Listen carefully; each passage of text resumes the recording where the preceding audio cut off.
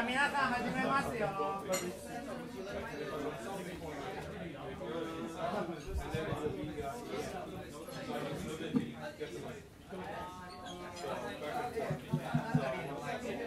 Much. Check, check, check. Test, test, test. Okay, are you guys ready? Are you guys ready? We're ready! I can't hear you. Ready! Okay. Um, thank you, thank you for coming to Bitcoin Tokyo meet, meetup event tonight. This is our 127th meetup. We are in fact the world second oldest Bitcoin group in the world. My name is Ken Shishido. I'm co-organizer for the group and the event producer for tonight. So, ha- hello world, hello world. um, we have a special guest from abroad this week, so I thought it would be fun to do a discussion event. Um, topic of the night is so what's the big deal about smart contract? So too bad we don't have to talk about Federal Reserve, BOJ, government corruption. Oh, we, we can talk about that if you want. okay, so so Charles, so do, do we have to be smart to understand smart contract? Uh, I hope not. That's the point. or, or, or people are not smart enough so that contract need to be smart. Well, I, I, don't, I don't even know what a smart contract is. Okay, uh, let me introduce our guest. Um, Mr. Charles Hoskinson is a Colorado-based entrepreneur and mathematician. He is an ex-CEO of e- Ethereum project. And I have uh, Mr. Ed- Edward Edgar from is an entrepreneur, web developer, and has been working on uh, reality key project. Now, would you like to call it as certificate of authority of facts? Yeah, that's exactly right. Yeah. Yeah, but but but are you sure you want to call it authority? That's what Oh, happens when you say right, right, right. Yeah, it so- sounds sounds a bit scary, right? Um, or in other words, da- data feed on facts. Exactly. Right. Now, Nathalie is a freelance journalist. Originally came from Switzerland, and now being based in Tokyo, covering mainly Japan subcultures, including Bitcoin. So Bi- Bitcoin is fall under subculture. She's a writer for the Daily Beast and Vice News. Well, um, let's get started. I now hand over to Nathalie. Uh, good evening, everybody. Welcome to uh, the Bitcoin, the Tokyo Bitcoin Meetup. Tonight, as Ken said, I will be uh, the moderator for this panel discussion on smart contracts, and there's a lot we would like to know about. So, um, uh, before we start, I would like to remind you to switch off the sound of your uh, your mobile phones, and I would like to remind you that you can follow each of the speakers on Twitter. Uh, we have displayed their um, their Twitter accounts here. So please, you can you know live tweet this event with the hashtag Tokyo Bitcoin Meetup. So uh, now I would like to give the floor to Charles Hoskinson and then to Edmund Edgar, uh, and then I will be moderating the Q and A session. And uh, so Charles and Edgar, what's the big deal about smart contracts? Uh, the same as the big deal about the cloud or all those other buzz terms. Um, smart contracts are nothing new. In fact, they have existed for quite some time. The first people to think about them were the kind of the cypherpunk community back in the 1980s, and then Nick Szabo formalized most of the thoughts in a, one of his landmark papers. I think it was 97, was it? Yeah, some, somewhere around there. It was, in the mid 90s is when Nick Szabo wrote it up. But basically, the idea is if you think of a contract in general, you have parties, you have some sort of transfer of value, you have some sort of terms and conditions, and there's some sort of notion of what happens when one or more of the parties doesn't follow those terms and conditions, and there's a dispute. So a smart contract's all about saying, hey, let's see if we can get a machine to enforce that, see if we can get a machine to validate that, to facilitate that. Now, where they get interesting is when we actually have a medium to store them. That's where blockchains come into play. Because we could do algorithmic enforcement of smart contracts, but it doesn't really do us a lot of good if we have to trust a centralized entity to store that and enforce that, right? Now we can put it on a blockchain. And so that's why people get so incredibly excited about them. Okay, thank you. If uh, Edgar, do you have something to add? Uh, well, that pretty much sums up what they are. Okay, we can go Um, home then, right? um, why, why are we so interested in them? There are just so, so many areas, everything, you know, from insurance to derivatives to employment contracts, all these areas where we've had to either deposit mon- money with somebody who we trust, which has often worked out badly for us, especially in the Bitcoin community, um, or we've had to um, appeal to the government to settle a dispute, and that turns out to be unbelievably expensive and, and not always fair. Um, so we finally have a way to do all this stuff. Um, I mean, it's something. In I mean, I mean, we, we could take it even further back before, um, you know, before Nick Szabo. I mean, if you go back even back to Leibniz, it must must be what 17th or 18th century, talked about this idea that once we can settle all our um, our arguments um, with a, with calculations, he, thought that we would be able to um, to turn our arguments first into formal logic, um, and then he thought we would be able to settle them with calculating machines. Um, his thought was that once we could do that, we'd have world peace because everyone would be able to calculate all you know all the same results. Everybody would be able to get the same answer on any question, um, and we wouldn't need to argue anymore. Um, maybe we can't go that far, but there are you know all kinds of areas where we can take what would have been a nasty or an expensive uh, dispute, and we can have the computer settle it for us. It just has to resolve his issues with Newton first, right? right. Voltaire. Oh, yeah. No Voltaire.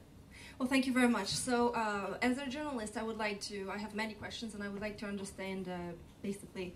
So, um, for example, in what way uh, Ethereum is decentralized? If I understand correctly, the idea behind it is to have a standard framework with what you call Ether, uh, a sort of new cryptocurrency, and a whole new system that allows to create what we call smart contracts.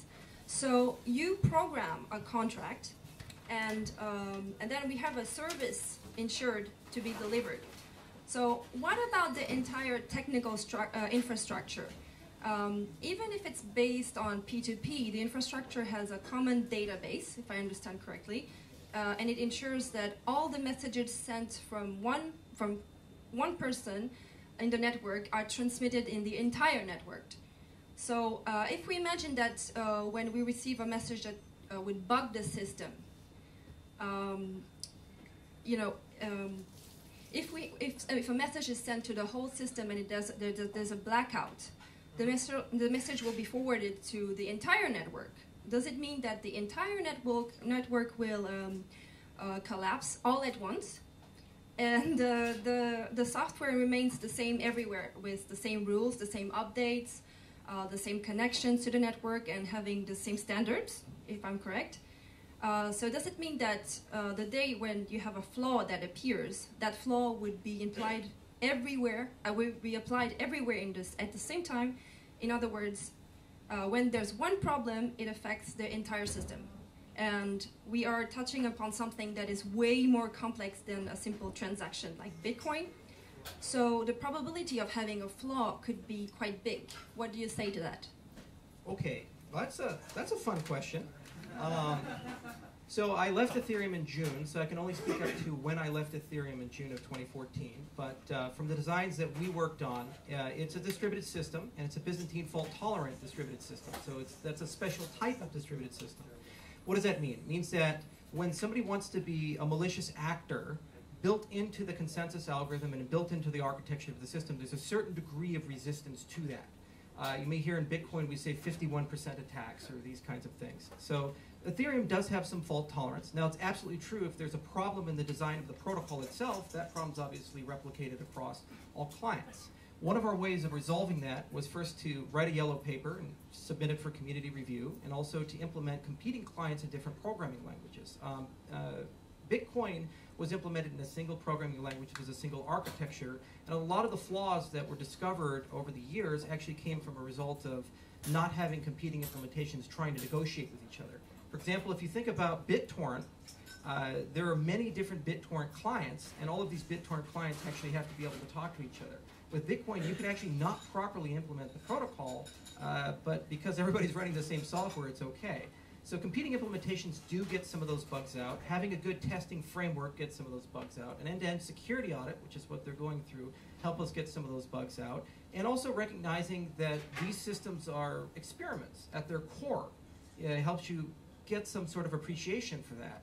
Uh, you know, you're going to make mistakes. All people do. Google does. Microsoft does a lot.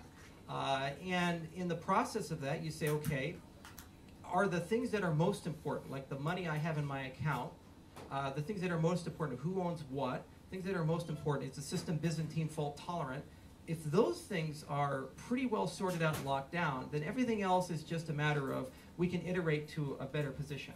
And that was kind of the hope with Ethereum. Now, you are correct that Turing completeness does cause some issues. So one of them is if you don't have metered computation in your system, the halting problem is kind of a bitch. Because what happens is uh, somebody could just have an infinite loop and uh, it crashes the whole network, right? So people have to pay for computation in the network. There is also a significant scalability concern with the current architecture in that everybody has to run uh, the smart contracts in the current state. Uh, so the issue there is that as the network grows, it's going to become prohibitively expensive to run a smart contract. So you need to shard it. And that's kind of the hope for Ethereum 2 and Ethereum 3 and other architectures is to begin the discussion about how to shard a distributed system in a way that's productive for everybody. And it's important to point out that there are competing systems that can run smart contracts without the need of a blockchain. Like, for example, you could use TPMs, uh, and that would work quite well. Or you could just have a lot of magic moon math come out of the woodworks and have homomorphic encryption, code obfuscation, and ZK SNARKs. And then, frankly, you get the same value and productivity of a smart contract, but you can do this now on any backend, whether that be Amazon or Rackspace or uh, you know Microsoft Azure. It doesn't really matter. So it's just one implementation, and it got everybody thinking about how to do smart contracts best. Uh, and we've seen tremendous innovation since the project was announced. For example, Ripple with Codius, uh, and um, there's the AT project, and uh, there's others like Nxt has been pushing very hard. And it's very exciting because we get to see competing security models, competing computational models, and some are better suited for certain classes of problems, and others are better suited for other classes of problems. It's exactly what you want to see in a decentralized movement. Thank you. And Edgar, could you tell us something about the trust, maybe with the software you? Yeah. So Okay, so, so I mean, um, Charles was, I guess, was talking about about the whole system, right? So, um, is Ethereum as a whole going to be broken in some way? Um, inside that system, you're going to be running a bunch of individual programs, right? And anybody can write that program. Um, that program obviously has to work correctly and give you for, for it to work for the people who are, who are actually using it. But you could have a program that was work, working wrongly, and that wouldn't have any particular um, pose any particular problems to all the other people who are using it. Um, so as far as the whole system goes, um, the things that we have to worry about are um, firstly that there's some horrible bug in, in the protocol that will cause people to, to lose money. Um, Bitcoin early on had some really what would have been had they been exploited really catastrophic bugs. You know there was there was this the op return bug which would have allowed anybody to spend anybody's money. You know um, now Ethereum obviously has had a lot more scrutiny. It's you know it's had a lot of very smart people um, looking at it, and it's been um, built and tested with with um, with the knowledge that this thing is actually going to be big and successful. Bitcoin when it was first created was a lot more experimental. I, I think most people just wouldn't have expect, expected it to, to get as, as big as it did. Um, so, so, but anyway, so that's the first problem is just kind of dumb bugs in the in the protocol that Bitcoin had. Um, the second problem, I guess, is is problems with sort of the incentive system, um, which also is something I'm still scared of with Bitcoin. I mean, so Bitcoin has this, you know, assumption that, um, you know, you're going to have, um, if we have, if nobody controls more than 51%, hopefully people won't collude to do weird stuff. Um, and to date, that's been okay. But I don't think, but nobody has proven theoretically that that should be okay. I mean, when you're dealing with human incentives, you really can't prove these things. Um, and I mean, and we've and a, a, lot of the, these things are designed. At least you try to design them so that they can withstand a rational attacker. But what's much harder to defend against is a really stupid attacker with a lot of money doing some really stupid stuff. Um, we, and if you look at what happens in actual financial institutions, you get a lot of people with really strange incentives doing very strange things. So, so I do wonder, even with Bitcoin, it may be that when we get to the point where miners are no longer these kind of gentleman anarchists, right? And you get to the point where control passes to psychopaths with MBAs who are, um, you know, who, who are thinking about their own bonuses. Maybe miners will do some really strange stuff and do weird stuff to Bitcoin. Ethereum is, in, in a way, it's been thought out with a lot of knowledge already about about Bitcoin. So in, a, in that sense, they start with an advantage over Bitcoin. But at the same time, it's also a, a, a new model for, as I understand it, for um, things like you know how you do mining, sort of proof of stake, and um, um, there are a lot of kind of untested ideas in there.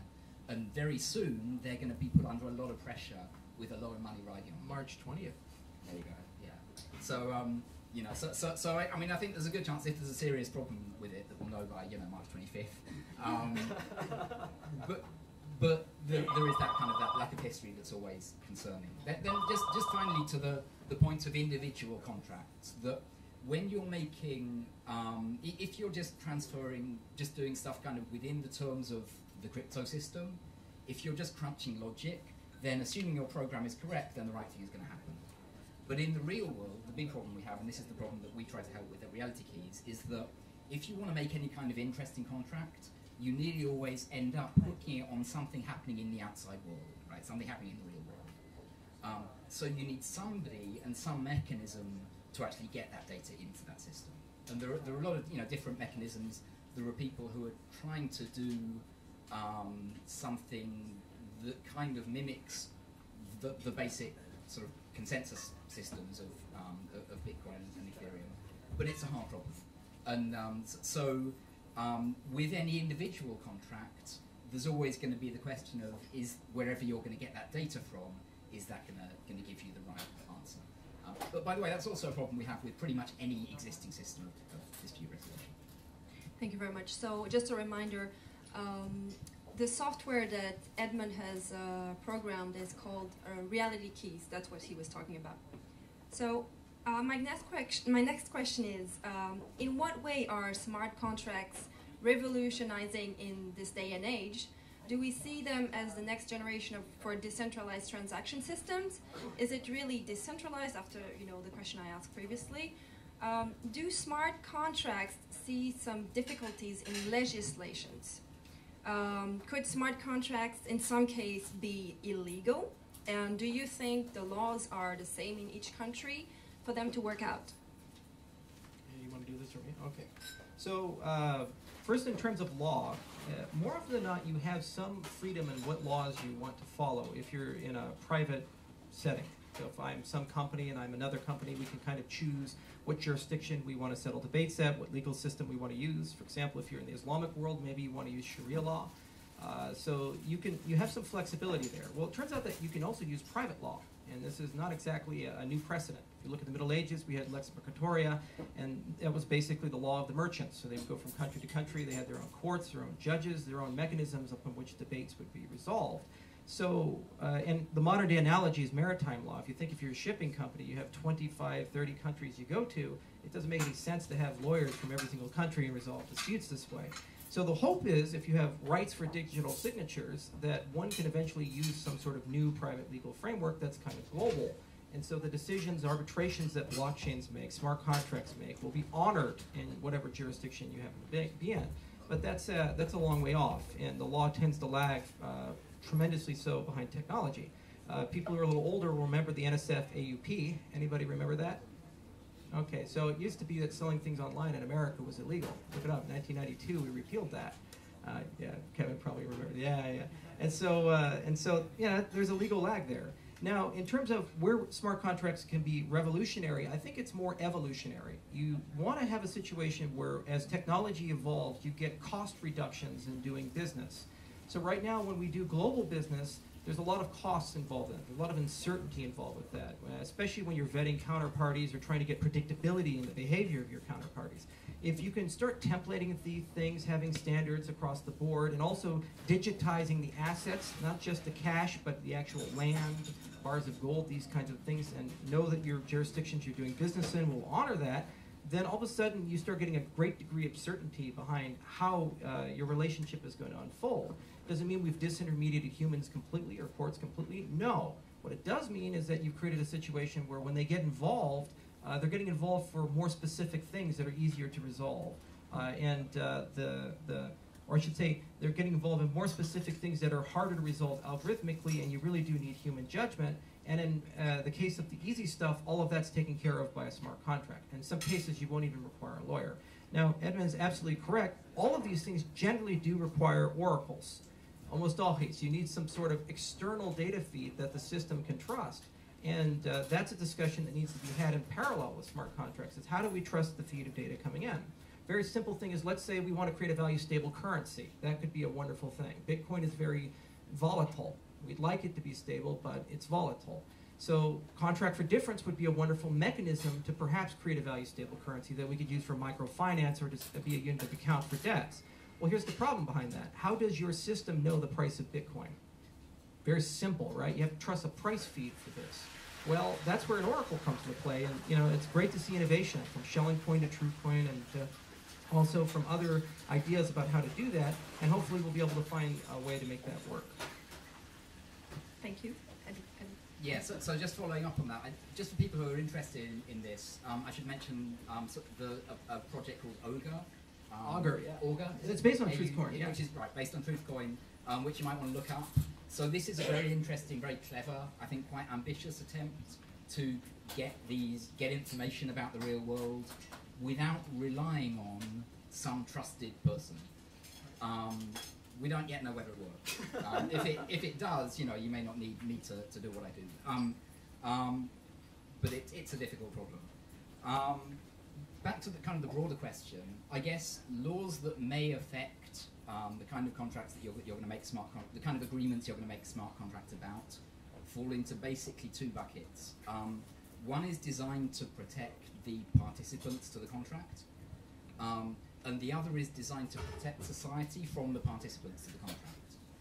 Um, the first one, um, I, I, think, as Charles said, we, we can kind of think of it as the law lagging behind this stuff. But but for the law to stop lagging behind this stuff is a kind of a getting to a libertarian paradise where, for example, you know the the law doesn't care, the, the government doesn't have strong opinions about what kind of employment contracts would be would be legal for example.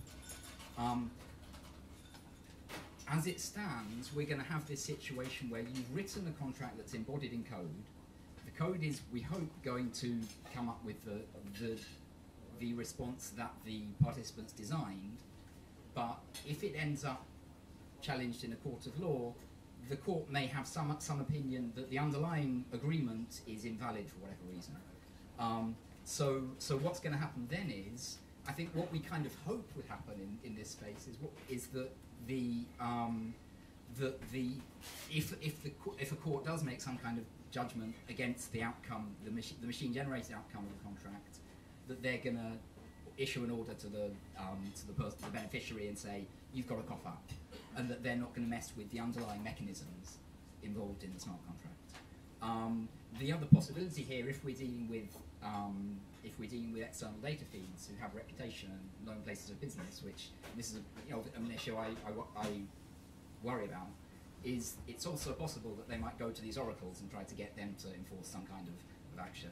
Um, and that could potentially really actually change the ability to do this thing, you know, cheaply and, and effectively.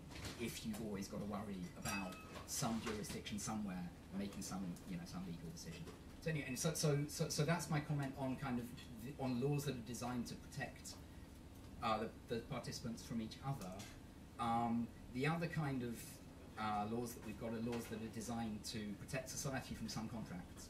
So, for example, if, if I wanted, if somebody wanted to kill me, they might make a contract that if I died, this person got paid, and that would allow you to do, for example, a crowdsourced assassination contract. Um, now you can't do this with reality keys because it would be against our terms of service, and we would be very cross if you did anything like that. Um, but it, I think it's it's not unthinkable that um, you know that these systems will be used for that kind of thing. Um, and we in, in the space we need to be ready for the kind of publicity we're going to get when that happens. But didn't Taaki build one? He, uh, somebody, I don't know if, if he did one. Some, somebody was doing escrow Yeah, yeah, yeah. for assassinations. Um, somebody who, who I think was, was in favour of assassinating politicians, just as a general concept. Never mind who it was. I mean, you know, if, it's, if they're a politician, they want them assassinated. So they were, they were offering to hold on to your money and make sure that went on, went to the assassin. But um, I don't know. I, I, I, I don't even know if this is an actual original problem. I don't know if, if assassins have a hard time collecting, you know, unpaid debts. But um, um, you, you, you know. But, but anyway, I, I you, It you can seems like certainly see. enforcement is built into that arrangement, right? right, right. Um, but, but you can certainly see that there are all kinds of illegal, you know, I, I mean, any new technology is going to be used for illegal purposes, and this one certainly is. I'm certainly sure it's going to be used for illegal purposes. Yeah, one thing I'd like to add on, uh, that if you look at the financial industry, we do tend to standardize contracts. There's ISDA, there's, uh, there's futures contracts, all these, these kinds of things. And the only thing that varies are the parties involved and the parameters behind the contract. Uh, what's really exciting about smart contracts as well is we're actually trying to standardize relationships between people. And once the judge understands that standardized template, then it's much easier for them to adjudicate. It's much easier for them to actually look at and say, oh, you know, that, that makes sense. So uh, it's really exciting, and I think that's going to be a big innovation is to have kind of object-oriented law and, uh, and uh, basically legal templates for almost any type of relationship you want, and to make those accessible in the developing world uh, at, at the first point, actually at the same time as they're accessible in the developed world, which is unheard of, right? Generally, you have rule of law countries, and then everything is kind of eh, in the developing world. But now both of them have the same legal system for not only just person-to-person contracts, but actually business-to-business, and these things can actually be built up into a decentralized autonomous organization. So it gets really exciting and kind of trippy. Thank you. So my, my next question is, um, as I understand, a smart contracts is, is a process in which a computer protocol facilitates, verifies, uh, or enforces the negotiation or performances of a contract. So since smart contracts actually are made by computers, and the agreement uh, therefore would, for example, guarantee someone to be paid for such and such services provided, what happens if uh, humanly something goes wrong? If the person physically, for some reason, cannot deliver or on the other side, would the smart contract uh, continue paying him uh, on and on until the smart contract ends? Isn't it problematic? And uh, could we say that the human aspect is lacking in smart contracts? As I understand it, um, the smart contracts are also so strong, so strong that uh, different parties cannot subtract themselves from them. So the good side of the smart contract is that you can be 100% guaranteed that the contract you make with someone will be 100% honored. But on the other hand, um, if there is any kind of human error, uh, what kind of problems would we uh, would that create? Um, usually, human beings are impulsive. They make agreements and they cannot uh, provide them. And uh, if, if there is a fraud, um, how well it comes to the we were, something we were discussing previously, but how can they legally rule it? Um, is there, um, you know, uh, you said that judges can take care of that. Could you could you explain it? Okay, so first, smart contracts are written by humans. They're enforced by computers. Uh, so you use a programming language like Solidity or E or something to write them. But in terms of the the actual enforcement, uh, if you're you write a bad smart contract, just like if you write a bad contract, you get screwed.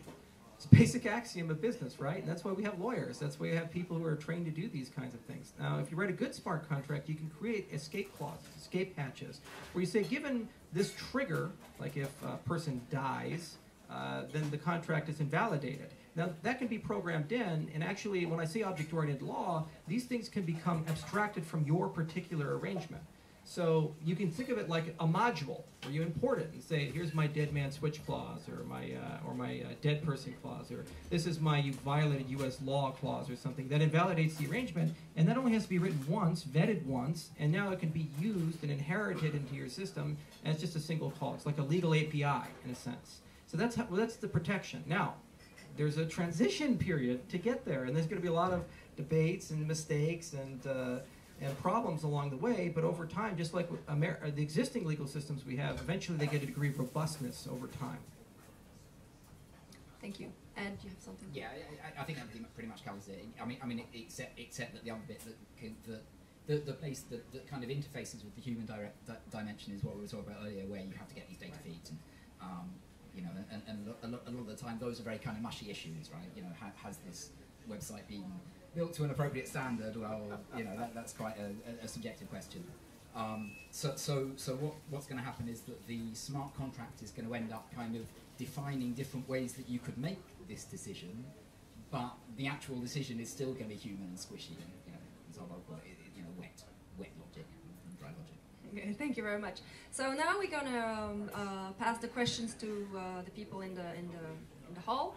So if anyone has a question, please raise your hand and come to come here to ask it just here. So is there any questions from the, the public?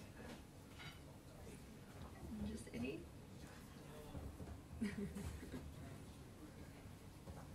Does everyone have a, you know, okay. Okay. The Undertaker.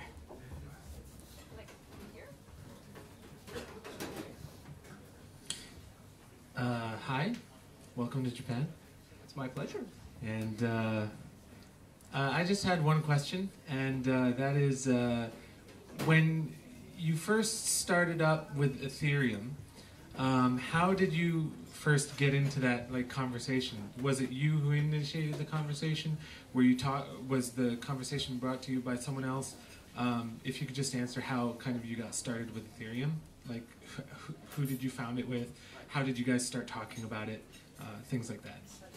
Okay, so I got involved very early days. Uh, actually, it was Anthony Di Iorio was the person who brought me into Ethereum. So Anthony is the, at the time he was the director of the Bitcoin Alliance of Canada, and uh, we were working together on an education project. I'd ran the Bitcoin education project for some time, and I did some content, and he wanted me to do some content for BAC. And so anyway, uh, he said, you know, I got this white paper from this uh, really smart person in Toronto. His name's Vitalik, and uh, can you? I can't make heads or tails of it. Can you read it? I said, all right, I'll go take a look at it. So I read the paper, and it was just profoundly brilliant. But at the time, I think it was an overlay protocol on PrimeCoin. So it was a, a little bit different than what Ethereum looks like today. So uh, Vitalik and uh, several other people and I, we just kind of worked together and had a lot of discussions. And over time, it started materializing to something that we could create a real project with. So we all decided let's go down to Miami, and this was in uh, July, January of 2014. Uh, and then we went down to Miami to, to go ahead and see what the community response was. And uh, it, we turned out to be like rock stars down there. So we said maybe we should maybe we should actually do something pretty bold and big with this. So that's kind of the origins there. It was very humble. It was kind of like an open source project, as many things are. I think Linus Torvalds started Linux uh, in his basement, you know, uh, solving a personal itch. And in terms of Vitalik, he started Ethereum the exact same way. He was working on the Color Coins project and the Mastercoin project, and he was really tired of the kludginess of the system and trying to actually get things to work properly, and the fact that you had to make all these bizarre trade-offs. And he says, well, why don't I just have a damn programming language with blockchains that I can do anything I want to do with? And they said, well, that just doesn't exist. And he says, well, why can't we build one? And that's kind of the, the history. It goes deeper, obviously, but uh, we don't have enough time to go through the whole thing. Does that kind of answer your... Yeah. Um, a follow-up question. Uh, what do you think about Vitalik and, and others doing the uh, cryptocurrency consortium? Uh, do you think that those types of uh, kind of like standards committees uh, will be important in the smart contracts area as as well as uh, like Vitalik is saying that they will be important in cryptocurrency areas? You know, Michael Manelli at Zen wrote a wonderful paper called Voluntary Standards Markets, and it kind of talks about the entire ecosystem of standards bodies. So I'm a firm believer in voluntary standards. I think they make the market better, and I think they need to be competitive. So there's not just one, but there's many, or else you have tyranny of the standard.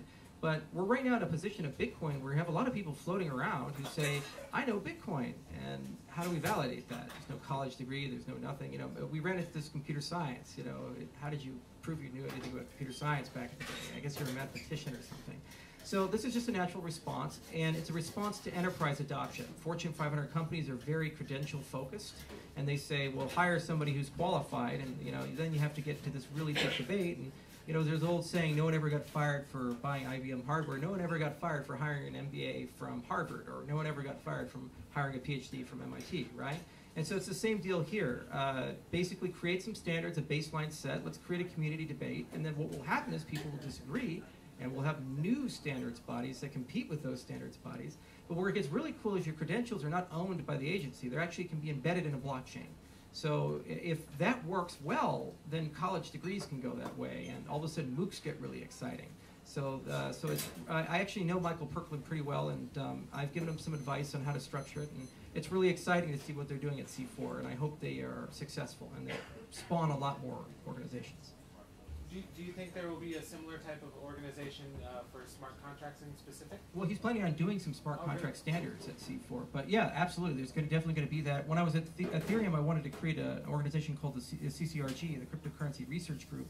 And our hope was to kind of standardize some things through that, from the protocol to a standard journal. And she put money behind research for the hard problems of cryptocurrency. And if anybody has any time, uh, Vitalik wrote up the hard problems of cryptocurrency. Uh, and he actually did a presentation in Silicon Valley in March of last year. Wonderful video. It's about an hour long. It was inspired by David Hilbert's Hard Problems of Mathematics that he did in uh, the year 1900. Thank you very much. So could you remind us when uh, Ethereum will launch? Well, I'm not involved in the project anymore, but I, I think it's March 20th. Um, that's what I've heard. Right. Is there any other questions from the... Ah, sir, please. Uh, can you speak English? Otherwise, I can translate. Oh, okay. Um, I think I'm okay. Yeah. oh, welcome to Japan. No, I welcome to the country of Satoshi Nakamoto and Mt. Gox, right? okay. Um, I just want to know what's gonna happen by you know smart contracts. What's gonna, what's a big innovation? What's the, what, what's the real world gonna buy smart contracts? Can you give us some example? Okay. Um, that's a really broad, abstract question. I could ramble for an hour on anything I want. Thank you. Uh, so, if we're thinking about what's going to happen in terms of smart contracts, uh, the point is nobody knows. And so, what we ought to be asking is what are the foundations and what are the systems that people are building to enable other people to figure out what to do? It's like asking Steve Jobs in 2007 what's going to happen with iOS and the iPhone and the app ecosystem? And he said, No, I have no idea. And that's the fun part. That's what makes it really exciting. Now, we can imagine things. For example, you know, we have self driving cars now, and, well, you know, it's probably going to be at some point where somebody could go ahead and go to bed and rent out their car at night and just go two o'clock in the morning driving the streets and taxing people around, and they wake up, their car's in their driveway, and they've made money while they were sleeping. And smart contracts can enable that. It also enables the Internet of Things. And that's really exciting because you think about where that goes. There's 100 billion connected devices. They all have to talk to each other. They all can do interesting things. And if it's not done correctly, it's a privacy nightmare. You know, your light bulb talks to your door handle, talks to your bed, talks to your vibrator, and all of those things are connected to some sort of network, and people can know about that and sell that data to other parties. So it's really important that maybe this is done in a way that preserves privacy and done in a way that's scalable. So there's a great project from IBM and Samsung together called Adept that I'd recommend checking out. And that project does require smart contracts to work, especially for the negotiations between devices. So these are kind of the things you can look into the future. But here's the thing. Regardless of where I think it's going to go, why don't you learn Solidity and go on March 20th when Ethereum is released and write a smart contract and play around with it and then give us a good future. Build something for us. That's the that's the power of these tools. That's the power of Bitcoin is that we get to build the future now, not other people. Thank you very much. So, Aaron, you have a question?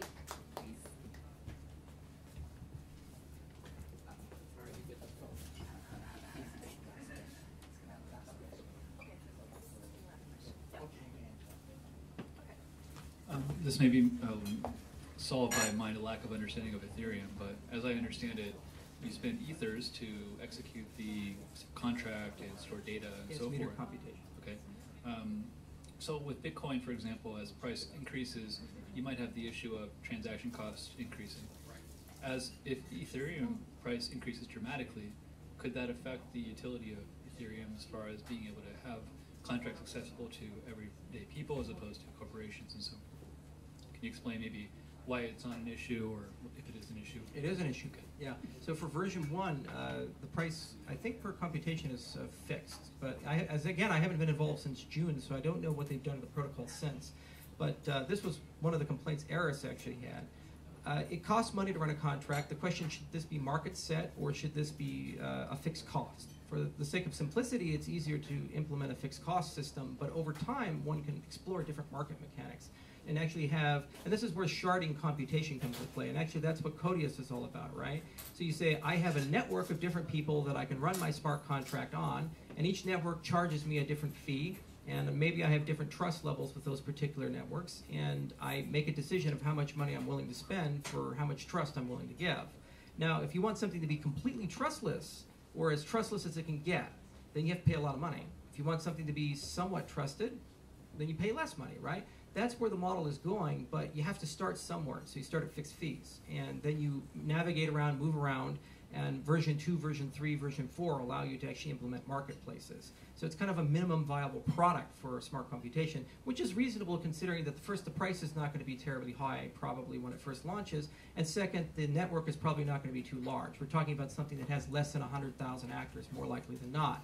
But very quickly, it could grow fast, and so they need to have solutions in the queue for it. And I think they're already planning on some of those things. That's why they've uh, they have such a large dev team. I hope that does that kind of answer the. Yeah, I guess I didn't realize there was the possibility of changing that model as far yep. as. Uh, you can fix you can fix anything. I mean, you can change anything. Either okay. either you do a proof of burn to a new chain completely, or you do a side chain and the assets migrate over, um, or you, know, you can get the the people behind the consensus algorithm to agree to change the underlying protocol. There's a great degree of flexibility with distributed systems. Um, and if it's in the economic best interest of the system, then of course it'll be done. Uh, and this is kind of the argument Blockstream has with sidechains, right? It's good for Bitcoin, so you know people will agree to the forks necessary to implement. Yeah, I, I think there certainly will be uh, opportunities for forking, but generally speaking, people would prefer not to change the, the base of the network and how it works. Okay, yeah. So like uh, generally speaking, everybody's going to run on like a 1980s Unix terminal and because it's convenient. All your apps are hard coded. Yeah, I use Vim too. I use Vim too, right? But no, the world moves on, and the systems change in the world. And you know, we, we had to retool to desktops from mainframes, and then we had to retool to mobile. Uh, then you know, now now we're retooling for the cloud, and so we you always retool as uh, technology evolves. And right now we're kind of the prototype, low user, proof of concept phase, 2009-ish Bitcoin, but more of a compressed time frame. But over time, you start asking, how will this make sense for the enterprise? And how will this make sense for consumers? And then how can we localize this to different cultural needs and um, different infrastructural needs? For example, if we're talking about the developing world, almost 100% of your users are mobile, right? So you need to have a fundamentally different experience and a fundamentally different appreciation for the underlying resources of the clients, especially considering they're mobile with multi-users. You know, they share their cell phones. Yes, if your credentials live on the phone, that's a problem, right? So, uh, so yeah, you know, and these are all discussions we'll have, and there's going to be a lot of experiments that are conducted. And, and, at the end of the day, Ethereum may not be the most robust system. That's the problem with being on the cutting edge. Sometimes it cuts you. Well, thank you very much. Uh, we're coming to end this uh, this Q and A. So I would like to uh, thank the guest speakers today, uh, and I would also like to uh, thank Ken Shishido and then Honma-san for actually um, being, you know, the, the, in between the Japanese community and the foreign community and bringing up all this um, this meetup uh, every week on Thursdays.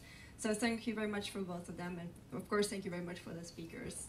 I, would like to say one last thing. I'd like to thank Lux staff for giving the stack for giving me this wonderful T-shirt. They were Kevin and uh, John were kind enough to invite me to their office today, so I said I'm going to wear this shirt today. I'm not sure what they do, but a very good and innovative company.